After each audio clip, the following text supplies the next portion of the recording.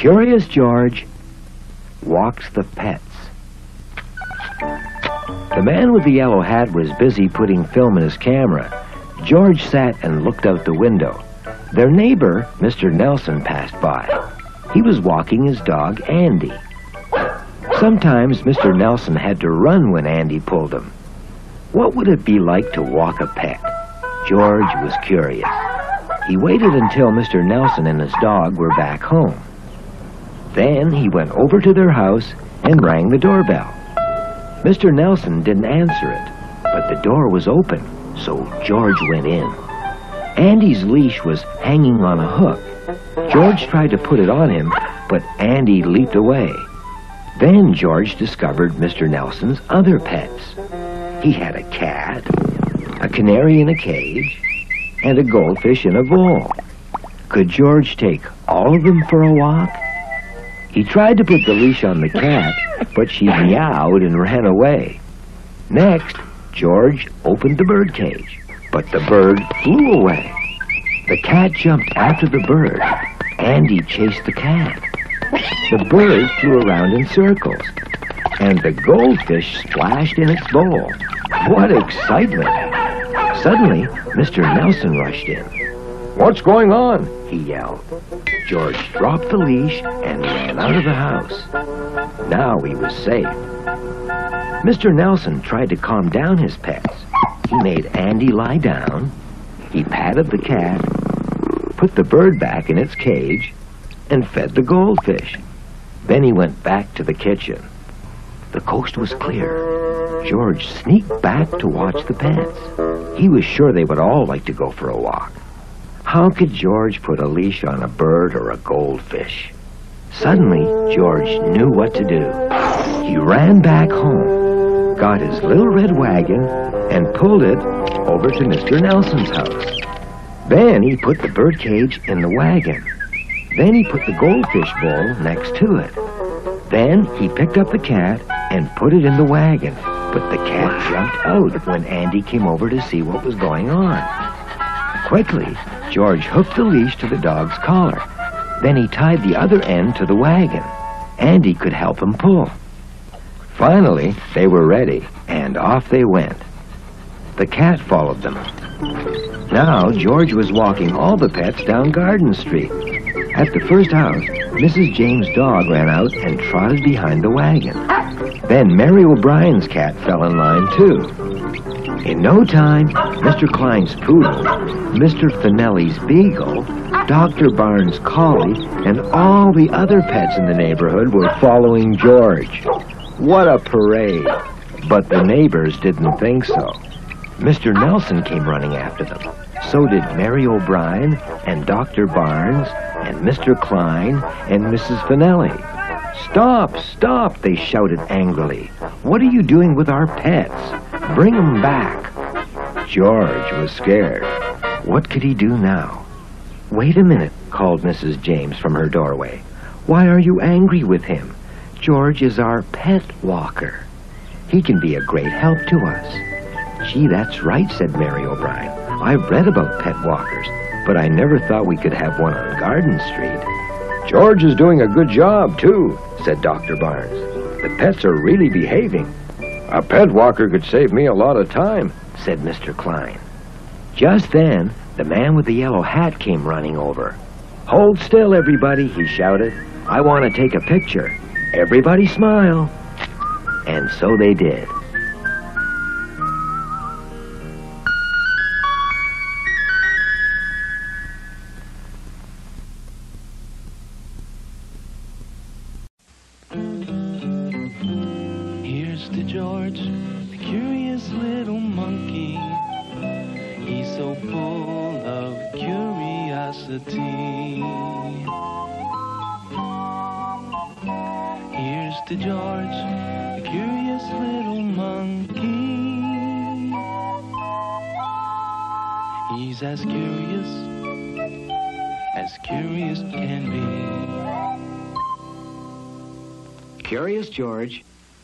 Gets a pizza.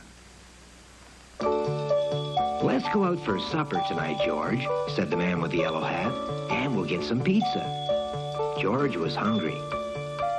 So off they went in their little blue car and drove to the pizza parlor. Tony the baker was behind the counter getting the pizzas ready for baking. First, he flattened out a ball of dough into a large pancake. Then he tossed it in the air. Spread the tomato sauce, sprinkled it with cheese, and shoved it in the oven. So that's how a pizza is made. Could he do it? George was curious. The telephone rang. The guard at the shoe factory wants a large pizza in a hurry, called Tony's wife. I'll get my coat, said Tony, and went into the back room. George jumped up on the counter, grabbed a big ball of dough, made four little balls, and pounded each one into a pancake just as Tony had done. Now he was ready to toss them into the air. How good that George was a monkey. He tossed them with all four hands. One landed on a coat rack. Another plopped right in the middle of a customer's table. One fell on the jukebox. And one went smack over the owner's head just as he came back into the room. Who did that? shouted Tony. Where is he? asked someone else. It's that monkey, a customer answered. In the alley was a small truck with the back door open. George jumped in. Now he was safe. You'd better hurry, said Tony's wife. The guard is still waiting for his pizza. They'll be closing the gates in a few minutes. I forgot all about it, said Tony. He got a pizza from the oven and packed it in a box. Then he left and put it in the back of the truck and drove off. George was trapped inside. The truck rattled through the streets up to the shoe factory. It was too late. The gates were locked. Oh, no, said Tony. How will I ever deliver the pizza? He opened the back door, and there was George. So that's where you've been hiding, cried Tony. I'm angry with you. You've been fooling around with my pizzas. He grabbed George by the arm. Suddenly, he stopped. I've got an idea, he said. You can make up for all that trouble. Take this pizza, climb up the gate, and deliver it to the guard at the back door. How good that George was a monkey.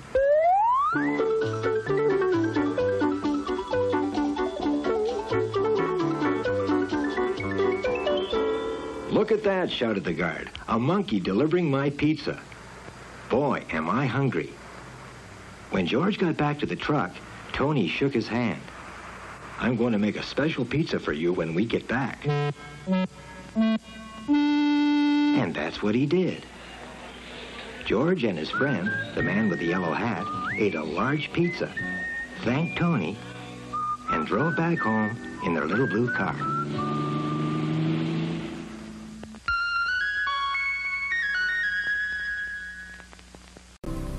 Curious George plays basketball. George, said the man with the yellow hat, Jimmy is playing basketball at school today. Why don't you go with him and watch? George and Jimmy walked to the school gym. George looked around in the gymnasium. What a nice place for a monkey to swing and play. Who's that fellow with you? asked Mr. Nicholas, the coach. This is my friend George, Jimmy said. He came to watch the game. Okay, said Mr. Nicholas. I'll have to get a whistle. I lost my own. Looks like your team needs one more player. Bobby is sick. Uh, hold on to his uniform. Couldn't George take his place, Mr. Nicholas? asked Jimmy. Mr. Nicholas looked at George. I don't see why not, he said, and walked off. Put on Bobby's uniform, George, said Jimmy, and he went to the court. George got dressed. Suddenly, he stepped on something hard. It was the coach's lost whistle. George picked it up. Soon, the coach came back with a new whistle. Let's get started, he called. When I blow twice, the game starts. When I blow once, the game stops. George was listening. Both teams took their positions. Jimmy's team wore red. The other team wore blue. Mr. Nicholas blew twice, and the game started. One red player passed the ball, and Jimmy got a basket. The crowd cheered. Now George blew his whistle once. The game stopped. Then George blew his whistle twice. And the game started again. What's going on? shouted the coach. Who's blowing that whistle? He was angry. Maybe that little monkey, said one of the players. Yeah, said another player. Sounds like George is at it again. There he is, yelled someone else. George was scared. It was time to get away. He ran across the court, climbed up a steel girder, and hid behind the backboard. The game went on. It was nearly the end of the game. There were only a few seconds left. Jimmy's team needed one more basket to win. Jimmy dribbled the ball in closer to the basket. The blue team tried to stop him. Time was running out. Shoot the ball, Jimmy, they shouted. Jimmy aimed carefully and shot.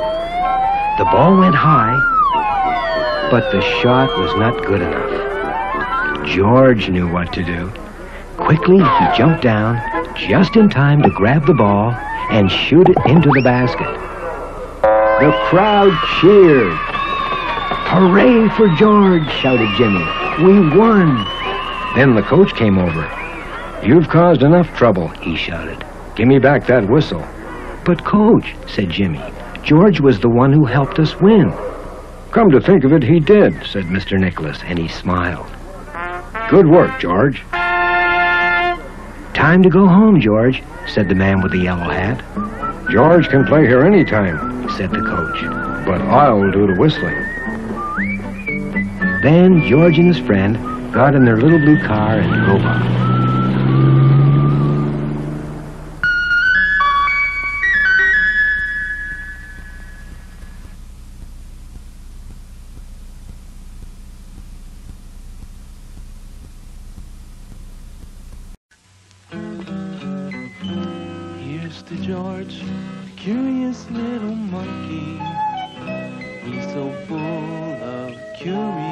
Curiosity. Here's to George, the curious little monkey.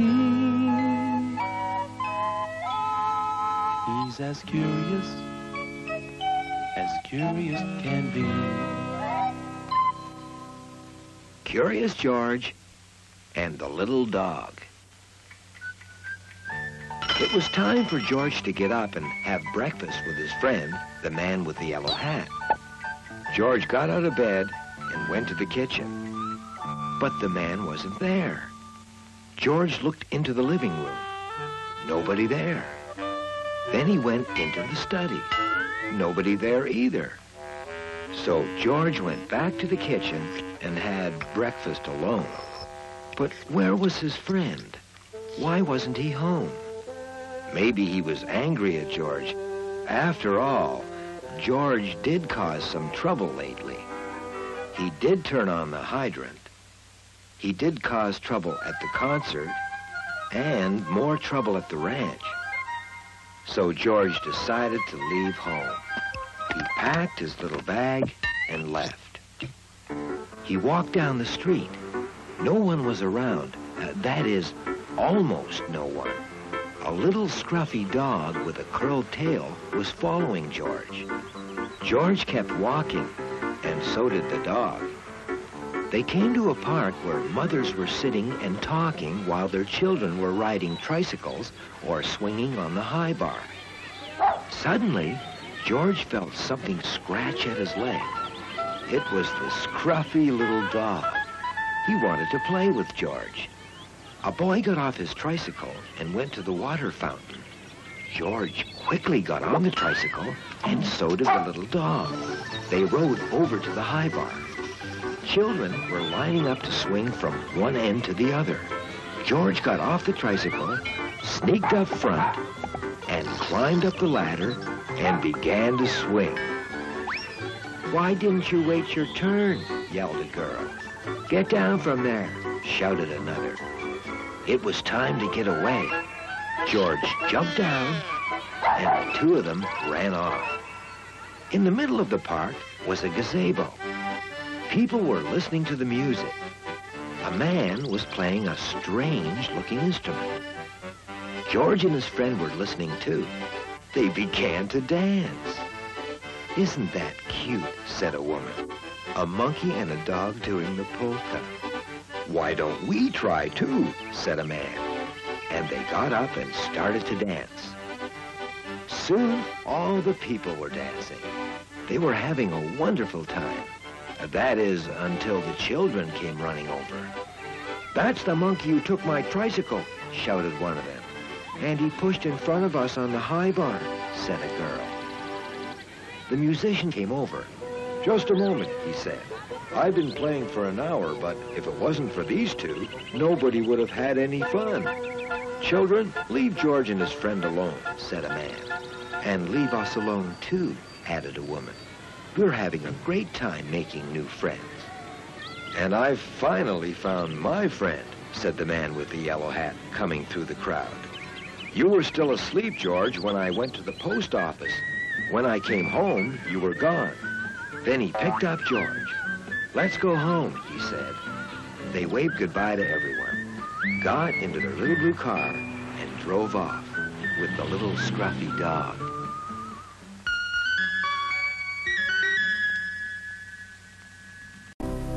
Curious George goes to an art show. Let's go to the art show this afternoon, George, said the man with the yellow hat. I hear they've got some good paintings. After lunch, they got into their little blue car and drove off. I see a friend over there, George, said the man. You can stay here and watch the artists paint, but don't get into trouble. Some artists had started their pictures. One artist was painting a bowl of fruit, and another was painting some flowers. Still another was sketching lines and circles and squares. Soon, George got tired of watching climbed a tree. Look, said a painter, what an unusual subject. A monkey in a tree. That's what I'm going to paint. After a while, George climbed down and looked at the painting of the bowl of fruit. The artist wasn't there. George took the brush and put some paint on the picture.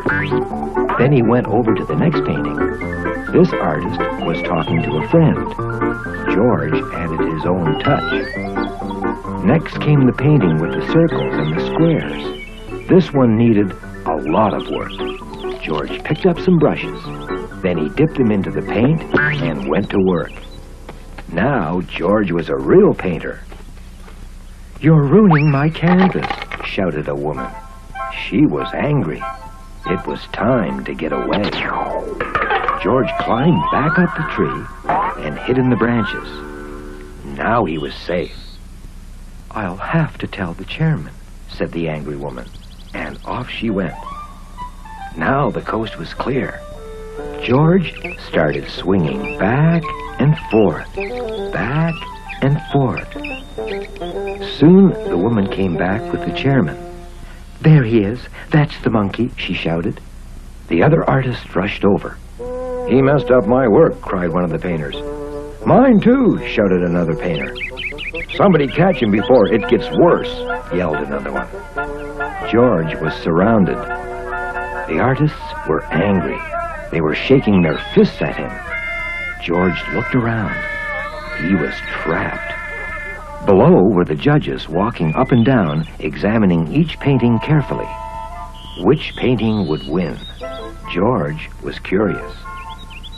Finally, a judge reached for one of the paintings that George had worked on. Look here, he said. A most excellent work. The best in the show. It deserves the blue ribbon. Where is the artist? Here I am, said the woman. The judge turned around. Superb, he said. Congratulations. Just a moment, said the woman, and pointed to the tree. Please come down, George. Everything is all right. The woman turned to the judges. He's the one who helped me finish the painting. Shouldn't he get a blue ribbon, too? Of course, said the chairman, and he put a ribbon on George. Everyone clapped and cheered. The man with the yellow hat came over. I'm glad to see you didn't get into any trouble. And guess what? I bought a painting. How do you like it? They got in their little blue car and drove home.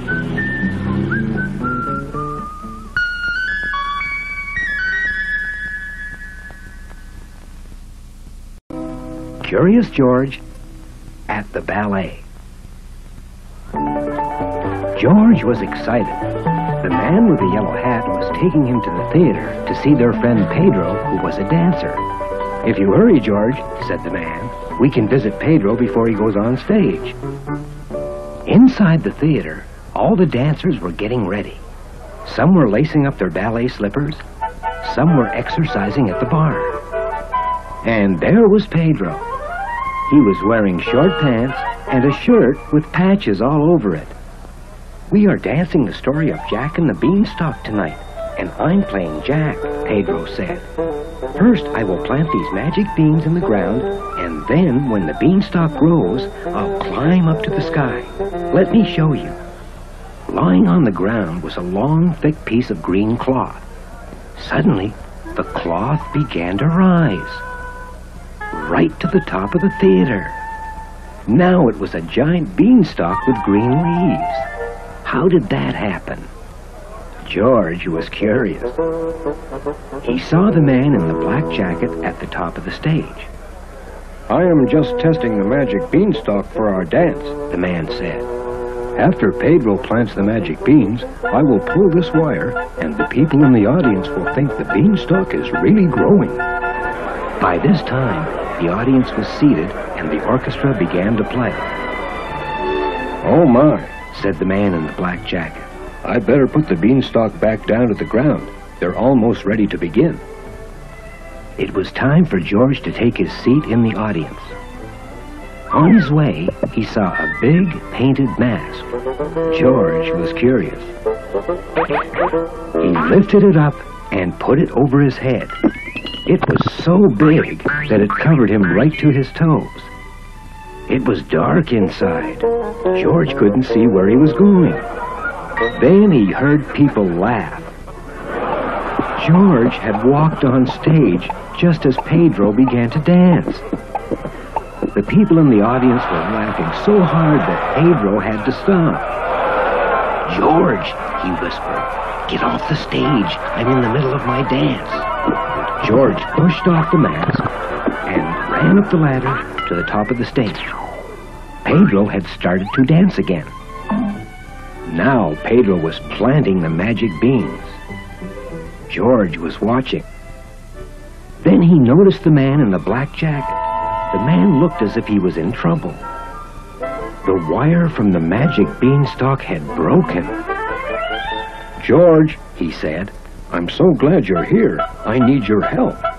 Climb down to the back of the stage and grab the top of the beanstalk. You can wear my black jacket so no one will see you. How good that George was a monkey. Quickly, he went down the curtain, grabbed the beanstalk, climbed back up, and handed the beanstalk back to the man. Now, Pedro could climb right to the top. The audience cheered. Bravo! Bravo!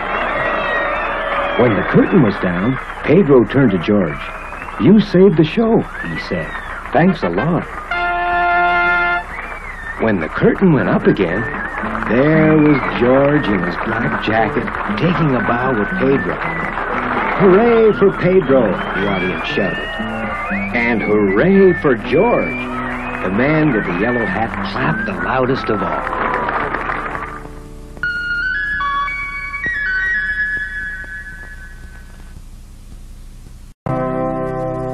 Curious George goes sledding. Today would be a good day to try our new sled, George, said the man with the yellow hat. Let's go up to the hill. They got in their little blue car and drove off. I want to say hello to an old friend, George, said the man. You can climb up to the top with the sled and see what's going on, but don't get into trouble. At the top of the hill, Mr. and Mrs. Ramirez were watching their three children playing in the snow. Lisa and Paula were making a snowman. Their little brother Jimmy was watching. They were rolling a big ball to make the bottom of a snowman. George wanted to make his own snowman. He started to roll a snowball. It got bigger bigger until it was so big that George couldn't see over it. Watch out, George, called Mr. Ramirez. You're getting close to the edge of the hill. But George was so busy rolling the heavy snowball that suddenly he pushed it over the edge. The ball rolled down the hill, turning faster and faster, gathering more snow as it went. Watch out, someone cried. It's an avalanche. Some skiers flipped over. A boy on a sled got covered with snow. It's that monkey up there, shouted someone. Get him out of here.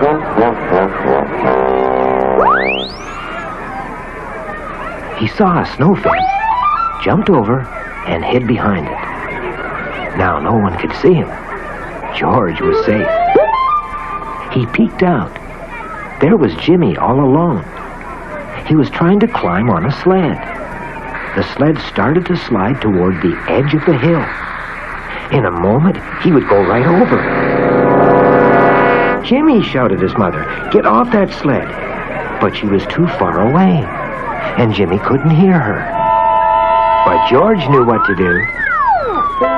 He ran toward the sled and jumped on right behind Jimmy.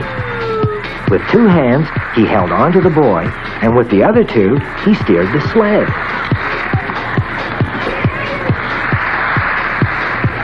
Just then, George saw a tree stump. They were heading straight towards it. George held Jimmy close to him and steered clear of the stump.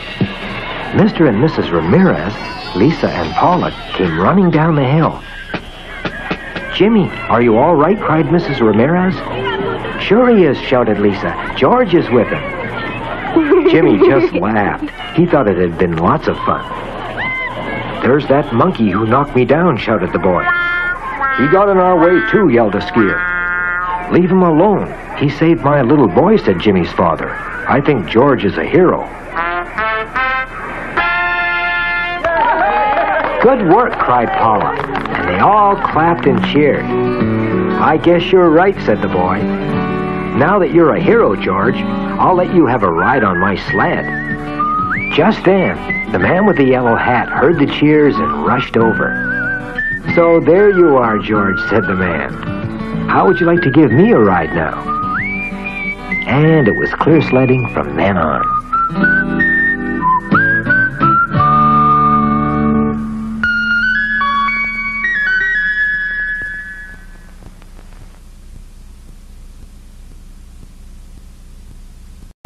Curious George goes to the aquarium. Let's visit the new aquarium, George, said the man with the yellow hat. You've never been to one. They got into their little blue car and drove off. The manager of the aquarium met them at the door. Why don't you come with me? I'm going to feed the seals now. The manager took a pail full of fish and went to the tank.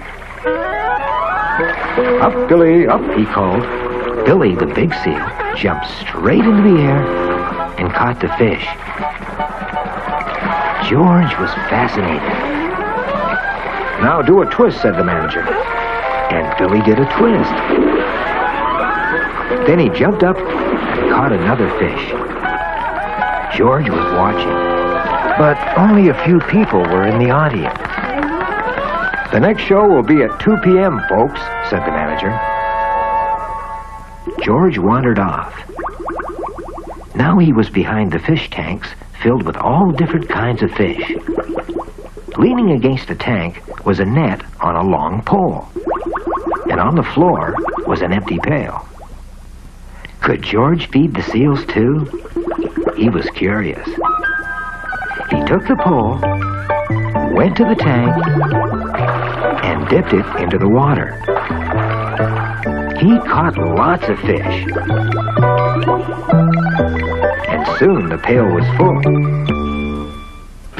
Just then, a guard walked down the hall. He stared at the tank. Hey, what's going on? He shouted. He blew his whistle.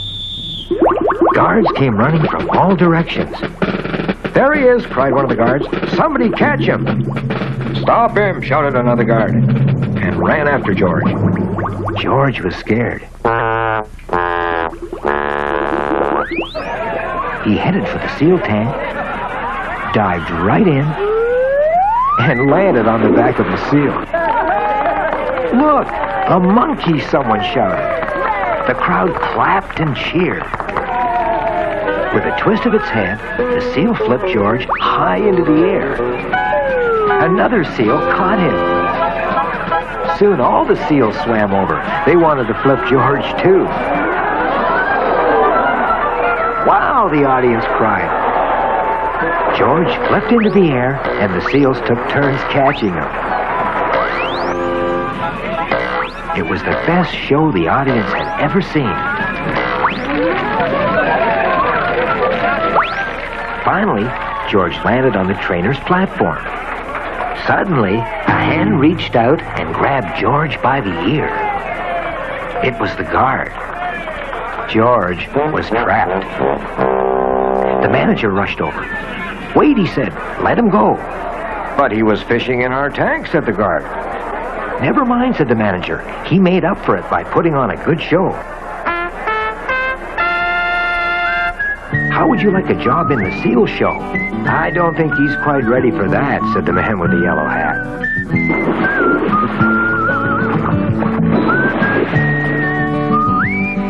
George and the man with the yellow hat thanked the manager and drove off in their little blue car.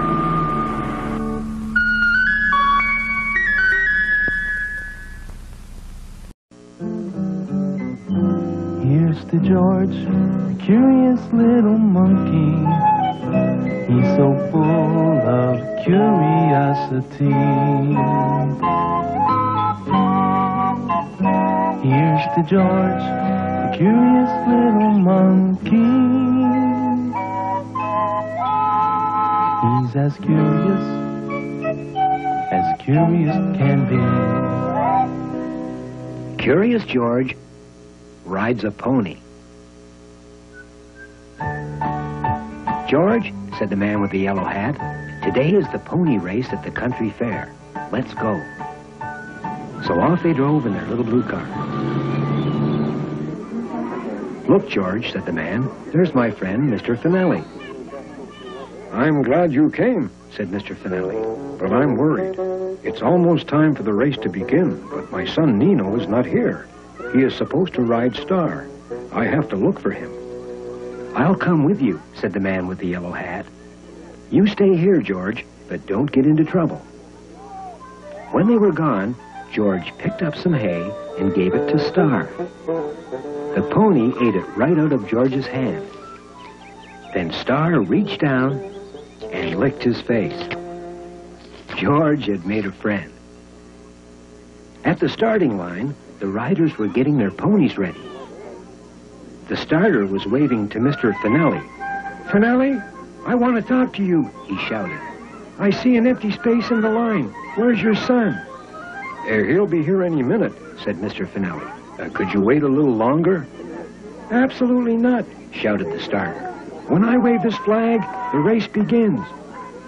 Mr. Finelli walked Star to his place. He was worried. George was watching. While the starter was busy looking through his binoculars, George climbed up to the platform and waved to his friend. But his friend wasn't looking. So George picked up the starter flag and waved it back and forth and back and forth. Maybe the man would see him now.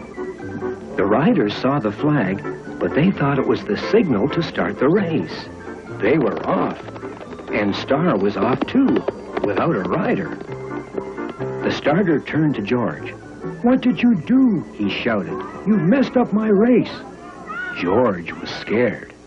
He jumped down from the platform, ran along the track, and climbed up a tree. Now he was safe. The ponies were racing down the track. Star was last. When he passed under the tree, George jumped down and landed right on his back. Star ran faster now. George and Star passed the other ponies one by one. There was the finish line. Only one pony was still ahead of them. Star ran faster and faster. Now he was neck and neck with the other pony. Hooray! They passed the last pony and won the race. Crowd cheered.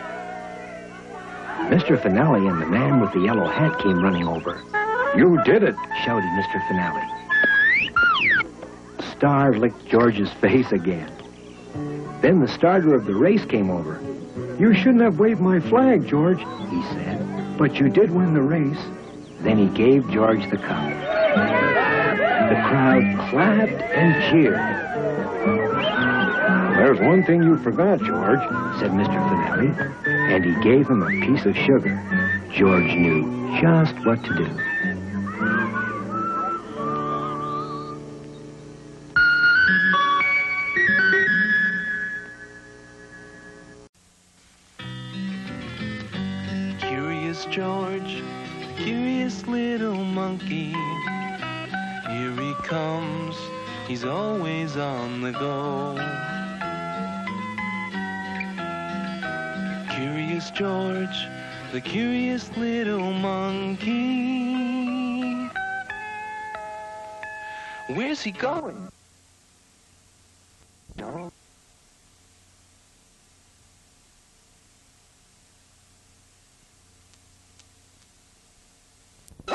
Need some things for dinner, George, said the man with the yellow hat.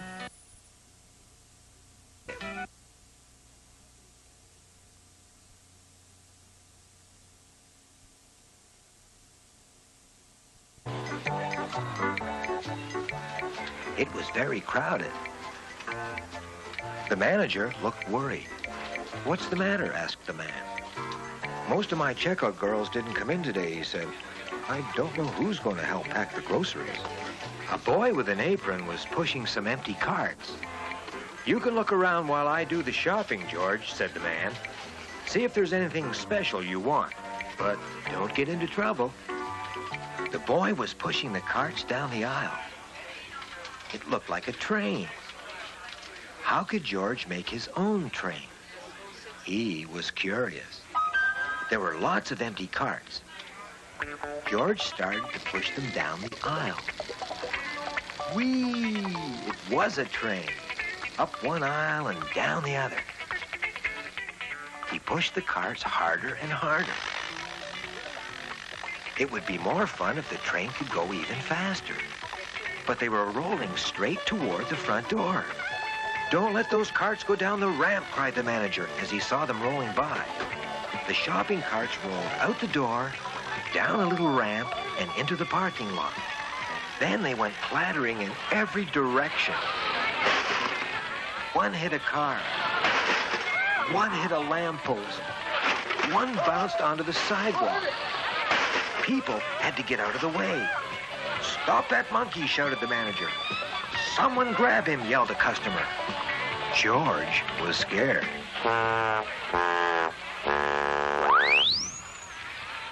A side door was open, and George ran into the storeroom. A white apron and a hat were hanging on a hook. George put them on. Now he looked just like one of the workers. In the supermarket, people were pushing their carts up and down the aisles. George walked past the checkout counter. Hey, you, I need some help, cried the cashier. And she pulled him up to the counter. Start packing. How good that George was a monkey. He packed groceries into the bags with all fours. The girl pushed more groceries at him. Better hurry up, she said. There's a long line. George packed little bags, big bags, boxes and cases. Now the line was moving faster. We're getting good service now, said a lady. I never got through so fast, said a man. I've got you this time, shouted the manager, and he grabbed him. What are you doing, sir? asked the cashier. All our customers are so pleased. He's the best packer we've ever had. He is? asked the manager. George kept packing. And the line got shorter and shorter. The manager smiled and turned to him. You shouldn't have played with those cards, he said, but you sure did make up for it. The man with the yellow hat finally got to the checkout counter. Good work, George, he said. Looks like you've been pretty busy. He sure has, said the manager, and gave them a big bunch of bananas. Save one for dinner tonight, said the man as they drove off in their little blue car.